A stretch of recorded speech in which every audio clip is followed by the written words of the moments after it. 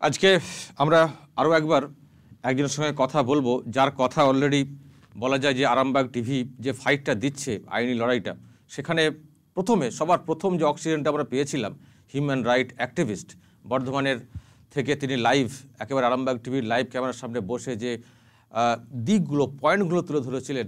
যে আরামবাগ টিভির বিরুদ্ধে যে কেস করা হচ্ছে, তার আইনগত দিকটা, ফলটা তুলে ধরেছিলেন এবং তিনি বলেছিলেন, প্রথম থেকেই আরামবাগ টিভির সঙ্গে, আরামবাগ টিভির পাশে তিনি রয়েছেন।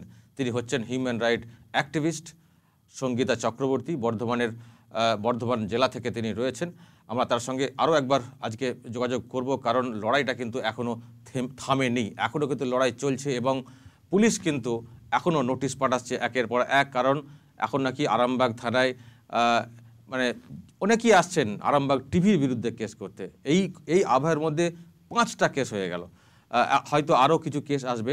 সুতরাং এটা কি এইভাবে করা যায়? একটা মানুষকে দিনের পর দিন কেস দিয়ে এইভাবে দমানো যায়? আরামবাগ থানাটা কি সত্যি একমাত্র আরামবাগ টিভির বিরুদ্ধে কেস নেওয়ার জন্য এখন তৈরি হয়ে রয়েছে? এত কেস কোথা থেকে মানুষ আসছেন। অনেক দিন আগে যে খবর প্রকাশ হয়েছে সেই কেস হচ্ছে এই মুহূর্তে। এই নিয়ে কিন্তু আমরা চর্চা করব, আলোচনা করব। আমার সঙ্গে একেবারে সরাসরি রয়েছেন সঙ্গীতা চক্রবর্তী। সঙ্গীতাদি অবশ্যই খুব সাধুবাদ জানাতে হবে। প্রথম থেকে ইন্সপিরেশনটা কিন্তু আমরা পেয়েছি যে আমরাও হারতে চাই না। হার হার স্বীকার করার মানসিকতা আমাদেরও নেই। আপনারও সেটা রয়েছে। একজন মহিলা হিসেবে বিভিন্ন কেসে যে মুভমেন্ট করেছেন, আমরা জানি, আরামবাগেও আপনি এর আগে এসেছেন। কি বলবেন? আপনাকে এর আগে আমি যখন লাইভে নিয়েছিলাম, তখন ছিল দুটো কেস আবার আজকে যখন লাইভে এলেন, তখন এই মরশুমে আমার বিরুদ্ধে পাঁচটা কেস কেসের কি শেষ নেই? নমস্কার। প্রথমত বলে রাখি, আজকে আমার মুখে কিন্তু একটা হাসি দেখতে পাচ্ছেন। তার কারণ, আপনারা যে লড়াইটা দিয়ে শুরু করেছিলেন সেটা ছিল আরামবাগের ভিতর। এখন এই লড়াইটা আপ টু দিল্লি পর্যন্ত গড়িয়ে গেছে এবং পরবর্তী দিনে আরও বিদেশেও যেতে চলেছে। তার কারণ আমি চিঠি অলরেডি আবার একটা তৈরি করেছি, সেটা আপনাদের জন্যই। এবার আমি বলে রাখি, পাঁচটা কেন, পঞ্চাশটা কেস করুক না? পুলিশ তো বসেই আছে কেস দেওয়ার জন্য। পুলিশকে বসানো আছে শুধুমাত্র কেস দেওয়ার জন্য। তার মানে এখন পুলিশের ইন্টেনশনটা পুরোপুরি ক্লিয়ার হয়ে গেছে। যে আরামবাগের বিরুদ্ধে যত রকম ষড়যন্ত্র করা দরকার আছে তারা সেটা করবে। সুতরাং আপনাদের এক্ষেত্রে আমি বলব কোনো ভয় পাবেন না। তার কারণ আপনারা কিছুদিন ধরে দেখতে পাচ্ছেন যে কিছু মিডিয়া উপর একদম প্রচণ্ড পরিমাণে খারাপ ঘা ঝুলে যাচ্ছে। মানে যেমন ধরুন আমি বলতে পারি অর্ণব গোস্বামী সুধীর চৌধুরী এবং কয়েকদিন আগে আমরা দেখলাম যেটা দেখলাম আহ, ভাটপাড়ার কাছে এক- সাংবাদিক তিনি নাকি একটা করোনা সংক্রান্ত খবর করেছিলেন, তার জন্য তাকে আট ঘণ্টা জেরা করা হয়েছে। এর আগে আমরা সন্ময় বন্দ্যোপাধ্যায়কেও দেখেছি। যত করেছে, তত তাদের ধার বেড়েছে। আপনি কেন ভয় পাচ্ছেন? কদিন আগে সিএম চ্যানেলে ব- একদম সরাসরি দেখেছেন মুখ্যমন্ত্রী বলছেন আপনাদের প্রশ্ন নেব না আপনারা চুপ করুন আপনারা তো উল্টো দেখাবেন মানে অবৈ অবিশ্বাস্য ব্যাপার যে পশ্চিমবঙ্গের পুলিশ মন্ত্রী আজকে প্রমাণ করে দিয়েছেন মানে তার ওই কথাটা থেকে এটাই প্রমাণ হয় তিনি মিডিয়াকে ভয় খাচ্ছেন আপনারা ভয় পাবেন কি আপনারা এখন ভয় দেখাবেন কারণ আপনারা যেটা করতে পারেন সেটা হচ্ছে মানুষের সঠিক তথ্য তুলে ধরবেন আজকে দেখুন এই কজনের সঙ্গে আপনাকে আমি তুলনা করলাম সুতরাং আপনাকে এটা ভাবতে হবে যে পুলিশ দুশোটার উপর কেস যদি অর্ণব গোস্বামীর নামে করতে পারে আপনার নামে দু হাজারটা করতে পারে কারণ এখানে পশ্চিমবঙ্গে এখনও পর্যন্ত নর্থ কোরিয়ান কিং জোনের মতো মমতা ব্যানার্জি তার শাসন রাজত্ব চালাচ্ছেন। তার কারণ আমি আপনাকে দিতে পারি, আমার কাছে বহু কেসের তথ্য আছে, যেখানে পুলিশ কীভাবে মিসলিড করছেন এবং আনপার্লামেন্টারি বিহেভ করছেন। আমার কাছে কালকে রাত্রে রেকর্ডিংও যদি জানতে চান মানে পুলিশ পঞ্চাশ হাজার টাকা না নিতে পাওয়ার জন্য জামিন হয়ে গেছে। তারপরেও তার বাড়িতে গিয়ে তার বাবা মাকে এই, ইয়েতে তুলে নিচ্ছেন গাড়িতে তুলে নিচ্ছেন। সেই রেকর্ডিংও আমার কাছে আছে সেই ভিডিও ফুটেজও আমার কাছে আছে। সুতরাং আপনারা কোন রকম ভয় পাবেন না। এখন আপনারা ন্যাশনাল ফিগার সুতরাং আমার মুখের হাসিটা আপনাদের বুঝিয়ে দিচ্ছে যে আপনারা পরবর্তী দিনে আরও লড়াইটা কঠিন করতে চলেছেন। আর এই লড়াইয়ে আমি পুরোপুরি আপনাদের সাথ দেব। সঙ্গীতাদি এই যে মানে এটা কি করা যায় যে দিনের পর দিন? এটা তো মানে পুলিশের ইন্টেনশনটা পরিষ্কার হয়ে যাচ্ছে যে শফিকুল ইসলাম বা আরামবাগ টিভি বা তার রিপোর্টারকে গাঁথতে হবে। তাদেরকে তাদের হাত, মুখ বন্ধ করে দিতে হবে এবং এটাও খবর সংজ্ঞা দিয়ে আমাদের যে চ্যানেলটা কিছু কিছু কেবল নেটওয়ার্ক লোকালে চলে কেবল টিভির মাধ্যমে। সেখানে অনেক অপারেটর এই মুহূর্তে টিভিটা চালাচ্ছেন না। বলা হচ্ছে তাদেরকে নাকি পুলিশের থেকে মানা করা হয়েছে। এই চ্যানেল তারা চালাবেন না। পুলিশের এই ক্ষমতা আছে যে কাউকে মানা করব, যে চ্যানেলটা চালাবে না। কি হচ্ছে এখানে? দেখুন, প্রথমত হচ্ছে যে পশ্চিমবঙ্গে মানে ঘটবে না বা ঘটেনি কোনো কালে, এমন ঘটনাও পশ্চিমবঙ্গে বহু উদাহরণ আছে। যেখানে সুপ্রিম কোর্টের রায় আমাদের আমাদের রাজ্যের হাইকোর্টে মানে হাইকোর্টের দিকেও আঙুল উঠেছে বহুবার, কিন্তু আমরা মহামান্য আদালতের উপর এখনও পর্যন্ত ভরসা নির্ভরশীল। তার কারণ আমাদের প্রশাসনিক দিকটা যেমন আমাদের উপর একটা চাপের সৃষ্টি হচ্ছে, তেমনি আমরা আদালতের বাইরে যেতে পারি না। এখন ঘটনা হচ্ছে যে, দেখুন, আপনার যে টিভি এই টিভি তো একটা প্রচার করে দিয়েছে যে একদম খুব বাস্তব ঘটনা যে পুলিশ কিছু ভুয়ো ক্লাবকে মানে যার রেজিস্ট্রেশনই নেই, এরকম ক্লাবকে চেক দিয়েছে। তাহলে এটা প্রমাণ করে দিয়েছেন আপনারা। তার মানে পুলিশের ভুলটা আপনারা দেখিয়ে দিয়েছেন। এখন পুলিশ তো উঠে পড়ে লাগবেই আপনাকে জবরদস্তি। এখন পুলিশের ভূমিকা হয়ে গেছে পুরোপুরি পার্টি ক্যাডার। তারা যদি হুমকি দিতে নাম- কেবল অপারেটরদেরকে যে বলে যে আপনি চালাবেন না, তাতে করে আমি বলব, পুলিশ আপনাকে ভয় পেয়েছে। আজকে অর্ণব গোস্বামীর ক্ষেত্রে যেটা করা হয়েছিল, সেই ক্ষেত্রে আমি আপনাদের পাশে সেটাই করাবো। পাঁচশো কেস দিক, কোনো চিন্তা করবেন না। একটা মাত্র মামলাতে হাইকোর্টে সমস্ত কেসকে ট্যাগ করে মামলাটা করা হয়েছে। সুতরাং আপনাদের ক্ষেত্রে যত কেস আপনার সঙ্গে আমার আলোচনা হয়েছে এবং আপনারাও সেটা জানেন। মাত্র কেস করে তাদের সমস্ত কেসকে ট্যাগ করা হবে। সুতরাং আপনি অভিপ্রেত এটা রাখুন যে আপনাকে সিরিয়াস কারণে দিতে পারে, আপনাকে আউন্স কেস দিতে পারে, আপনাকে গাঁজা কেস দিতে পারে। কিন্তু আপনার কেসটা কতটা সাজাতে পারবে? অর্থাৎ পুলিশ তদন্ত সাপেক্ষে সিএস দেবে। তার কারণ দেখুন, আজকে একটা বাস্তব ঘটনা আপনাকে বলি। এই যে আরামবাগের এসডিপিও এবং আইসি, যারা এবং মহিলা থানার আইসি, এনারা তো ধরুন মুসাফির হাইয়ারও মানে আজকে এখানে আছেন তো কার আরেক জায়গায়? এদের তো কোনো ঠিকানা থাকবে না, আরও অন্য থানায় চলে গিয়ে তার মতো করে কাজ করবেন। কিন্তু যারা কেস করছেন, যারা আপনাদের বিরুদ্ধে এসে কেস করছে, তাদের ভাবার বিষয় যে আজ থেকে ছ মাস পরেও বা তিন মাস পরেও তাদেরকে হাইকোর্ট যেতে হবে, তাদেরকে সুপ্রিম কোর্ট যেতে হবে। এই পুলিশ অফিসাররা তাদেরকে কদিন সাথ দেবে, সেটা তাদের ভাবার বিষয় এসে গেছে। কারণ আজকে আরামবাগ টিভির নামে কেস করে দুদিন এসডিপিও বা আইসি তাদেরকে তাদেরকে ইনফ্লুয়েন্স দেবে তাদেরকে জ- মানে তাদেরকে তোল্লা দেবেন আমি তোল্লা কথাটাই বললাম কিন্তু যারা কেস করছেন তারা সজাগ হয়ে যান আপনাদেরকে আজকে সাত বছর বছর হোক আট বছর হোক এমনকি বুড়ো পর্যন্ত এই কেসের জন্য আপনাদেরকে আরামবাগ টিভির সঙ্গে হাইকোর্টে দেখা আপনাদের হবেই আর আপনি যদি জিতে যান কেস তাহলে পরবর্তী দিনে আপনি তাদের মে- তাদের এগেনস্টে ডিফামেশন মামলা অর্থাৎ মানহানির মামলা করে আপনি কিন্তু আপনার আরও মানে আমি বলব এটা পয়সা কামাই বলব না তার কারণে আপনি মানহানির জন্য যদি জিতে যান তাহলে আপনিও বেনিফিট হবেন না এটা অবশ্যই এটা অবশ্যই। আমরা তো ছাড়বো না। আমরা আজ পর্যন্ত আমরা সব রায়ের অপেক্ষায় রয়েছি।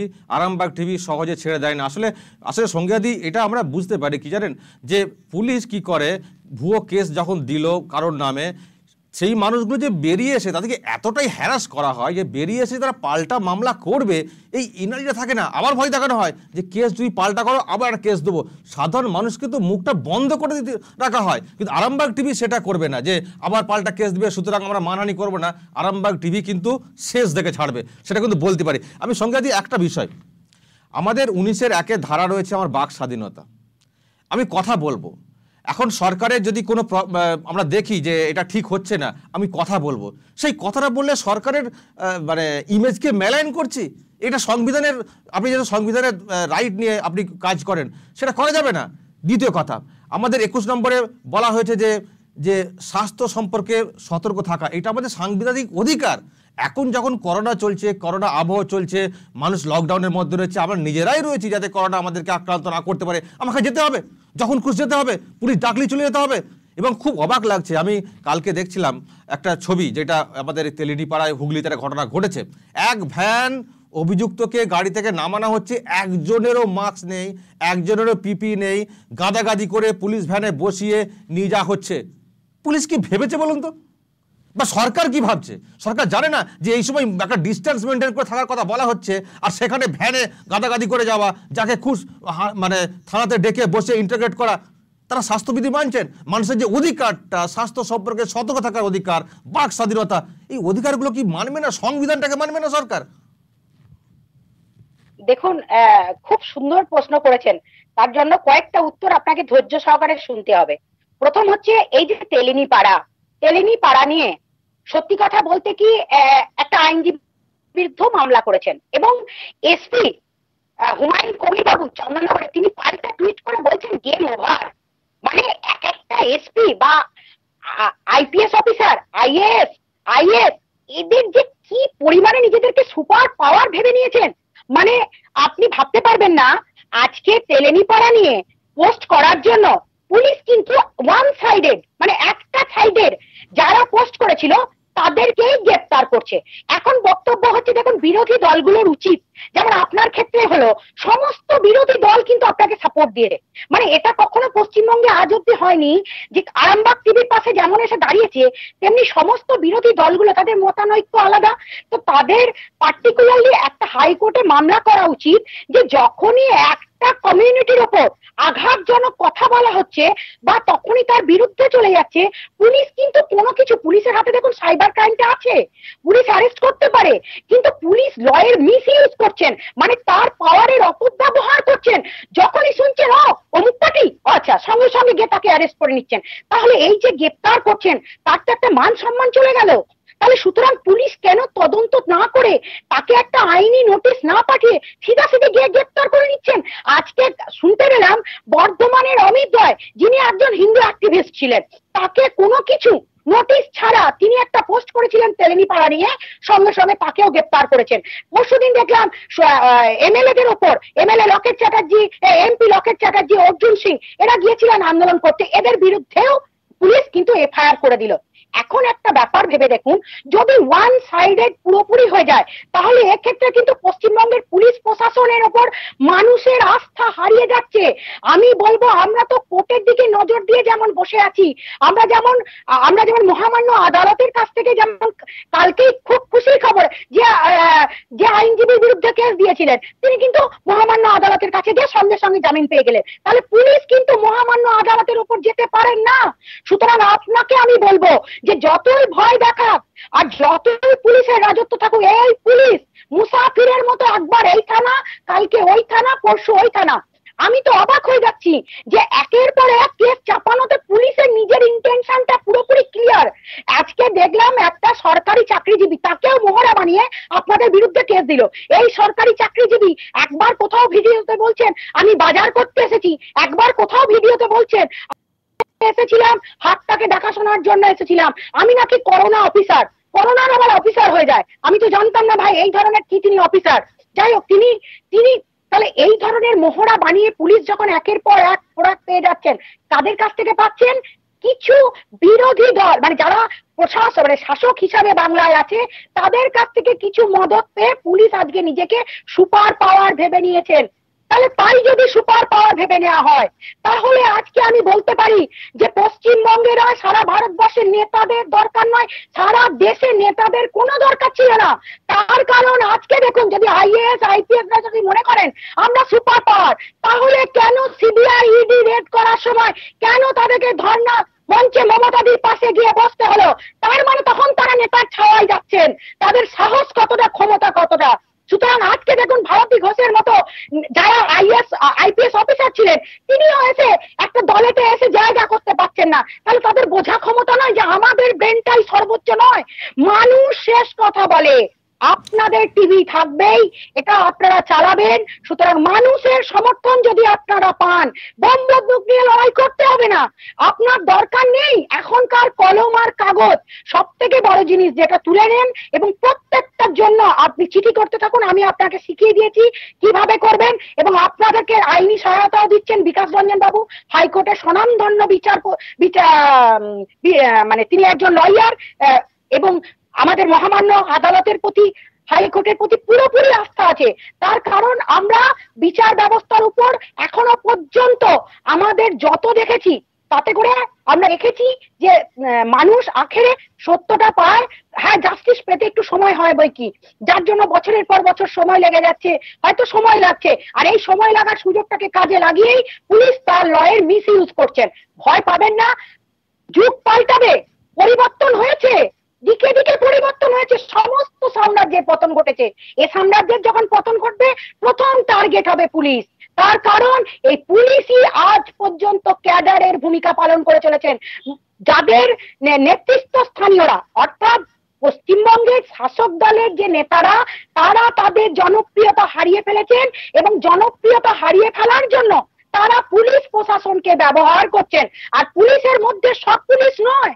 আমি বলছি না যে সব পুলিশ, কিছু পুলিশ, যারা এখনও পর্যন্ত চাটুকাদার এবং মানে পদের লোভ এবং কি বলব, নিজেকে ভালো প্রমাণ করা, সরকারের কাছে মানে ভালো সার্টিফিকেট নেওয়া তাদের তো এই কাজ করতে দিতেই হবে। আর তারাই হবেন পরবর্তী দিনে আপকামিং টার্গেট আর প্রত্যেকের মুখ বন্ধ করে প্রতিবাদীর মুখ বন্ধ। আমরা সবসময় সবসময় আমরাও সেটা বলি যে সবাই খারাপ নয় সব নেতাই খারাপ নয় সব পুলিশে খারাপ নয়। কিন্তু কিছু মানুষের যে অধিকার সেটা যদি কোথাও লঙ্ঘিত হয় তা নিয়ে তো প্রশ্ন উঠবেই। মানুষ কথা বলতে পারবে না মানুষ তার স্বাস্থ্য সম্পর্কে সতর্ক থাকতে পারবেন না।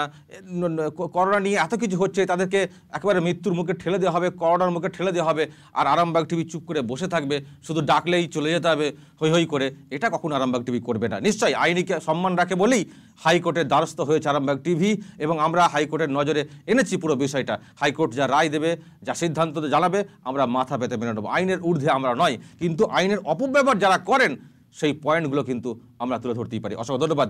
Sangita Chakraborty human right activist. আর একটা কথা আমি আপনাদের বলে দিই, এই সূত্রে। ধরুন মানুষ আজকে আমাদের, আমি একটা কয়েকদিন আগে একটা পোস্ট করেছিলাম যে মানুষ মানব অধিকার কি এটা জানে না। যার জন্য দীর্ঘদিন তারা আদালতের চক্কর কাটছেন এবং দিনের পর দিন তাদের সময় বরবাদ হচ্ছে টাইম নষ্ট হচ্ছে। তা এখন যদি চট জলদি আপনি কোনো উপকার বা উপশম পেতে পারেন তাতে করে আপনাকে মানবাধিকার সংগঠনের দ্বারস্থ হন। আমি বলছি মানবাধিকার সংগঠনের দ্বারস্থ কেন হতে বলছি? কারণ ন্যাশনাল হিউম্যান রাইটস কমিশন যেখানে আছে, সেখানে যদি আপনি একটা এক্সপার্টের সাহায্য নিয়ে এগিয়ে যান, তাতে করে কিন্তু আপনি কম সময়ে এবং দ্রুত, খুব কম খরচে, সামান্যতম খরচে আপনি কিন্তু তাড়াতাড়ি উপশম পাবার একটা জায়গা হবে। এখন আমি বলে রাখি, যেমন ন্যাশনাল হিউম্যান রাইটস কমিশন কিন্তু কিছু ক্ষেত্রে, যেমন এই যে তেলেনিপাড়ার ঘটনার ক্ষেত্রে কিছু মিডিয়া খবর পড়ল না মানে মিডিয়াতে খবরটা হলোই না। কেন হলো না? তার কারণ মিডিয়ার মুখকে পুরোপুরি চেপে দিয়েছে। তখন যদি আমি ন্যাশনাল হিউম্যান রাইটস কমিশন করি কমিশনের কাছে অ্যাপ্লাই করি, কেন খবরটা দেখানো হচ্ছে না? কিন্তু সেটা যেমন আমি বলতে পারি না, কারও কোনো পাবলিক ফিগার বা পাবলিক পাবলিক ডোমেনের বিরুদ্ধে আমি যেমন কোন রকম কোনো কমপ্লেন করতে পারি না, তেমনি এটা কমপ্লেন করতে পারি যে রাজ্যের ডিজি বা মাননীয় মুখ্যমন্ত্রী, পুলিশ মন্ত্রী, তিনি তার আদেশে এটা হয়নি। তার কারণ এটা তাদের সরকার। তাদের সরকার এবং আজকে তো একটা বড় প্রমাণ পেয়ে গেছি যে কমিশনারের ডিরেক্টলি পোস্ট করছেন। ডিরেক্ট পোস্ট করেছেন, সেই পোস্টের কপি আমরা কেটে ন্যাশনাল হিউম্যান রাইটস কমিশনে পাঠিয়েছি। তার বিরুদ্ধে কমপ্লেন করতে। সুতরাং আপনাদেরকে বলব যে ভরসা রাখুন, আস্থা রাখুন আইনের ওপর। আইন আইনের পথে চলবে। আর যদি পাঁচশোটা কেস করে করতে দিন, একটা কেসেতে ট্যাগ করবেন, আপনাদেরকে একদিন হাজিরা দিতে হবে আর তাদেরকে প্রত্যেকবার যেতে হবে হাইকোর্ট। সুতরাং যারা কেস করছেন আপনাদের বিরুদ্ধে, তারা যেন সজাগ হয়ে যান। তাদের, তারা যেন পুলিশের এই চক্করে পা না দেন। বারবার বলছি, পুলিশ হচ্ছেন মুসাফির। আজকে এ থানা, কালকে ও থানা থানা। আপনাদের ভুলে যাবে, আপনাদের পয়সাও যাবে, সম্মানও যাবে, এবং পরবর্তী দিনে আরও অনেক কিছু বিপদে নেমে আসবে। এটা আমার থ্রেট এটা আমি বাস্তব বললাম, আমার বাস্তব চোখে দেখা, কানে শোনা, এবং প্রয়োজনে আপনারা যদি চান, আমি সেই তথ্যও তুলে ধরতে পারি। সুতরাং আরামবাগ টিভির বিরুদ্ধে পাঁচশো কমপ্লেন করতে দিন। যাবেন না করোনার এখন অভাব। আপনি কি জানেন পুলিশের মধ্যে বেশি সংক্রমণ ছড়িয়ে পড়ছে এখন? আর সেই খবর চেপে দিচ্ছে সমস্ত মিডিয়া সুতরাং আমরাও এটা বলতে পারি না যে আপনি এই সময়ে পুলিশের কাছে হাজিরা দিতে যাবেন। ওকে আপনি আমি সংজ্ঞাদি আহ, যেহেতু হিউম্যান রাইটস নিয়ে আপনি কাজ করেন আপনি এটাও একটু কমিশনে মানে নজরটা টানার চেষ্টা করবেন যে এই যে এই সময় যেভাবে মানুষের সঙ্গে ব্যবহার করা হচ্ছে থানাতে যেভাবে নিয়ে যাওয়া হচ্ছে হয়তো একদিন পর ছেড়ে দেওয়া হচ্ছে কিন্তু যেভাবে রাখা হচ্ছে সেটা কি স্বাস্থ্যবিধি সম্মত? এটা কি মানুষের অধিকারকে খর্ব করে না? বাঁচার অধিকারটা তো সবার আগে সেটাকে খর্ব করে না? আপনি কমিশনের দৃষ্টি আকর্ষণ করবেন নিশ্চয়। আমরাও সেদিকে নজর অবশ্য ধন্যবাদ Sangita Chakraborty human right activist Bardhaman থেকে সরাসরি ছিলেন। অনেক মূল্যবান কথা তিনি বললেন। প্রথম থেকে আরামবাগ টিভির লড়াইয়ের সঙ্গী হয়ে রয়েছেন এবং বিভিন্ন আইনি দিকগুলো আমাদেরকে বলার চেষ্টা করছেন, বোঝানোর চেষ্টা করছেন এবং অধিকারটা, বিশেষ করে অধিকার সম্পর্কে আমাদেরকে সচেতন করছেন। অসংখ্য ধন্যবাদ জানাই, আমরা পরবর্তীকালে তার কাছে আবারও ফিরে আসব। আপনারা নজর রাখুন আরামবাগ টিভিতে।